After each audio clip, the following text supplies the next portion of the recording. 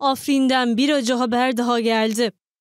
Zeytin Dalı Harekatı kapsamında Afrin'de terör örgütü mensuplarıyla çıkan çatışmalarda 5 asker şehit olmuş 7 asker de yaralanmıştı. Türk Silahlı Kuvvetleri'nden yapılan yeni açıklamada şehit ve yaralı asker sayısının arttığı ifade edildi.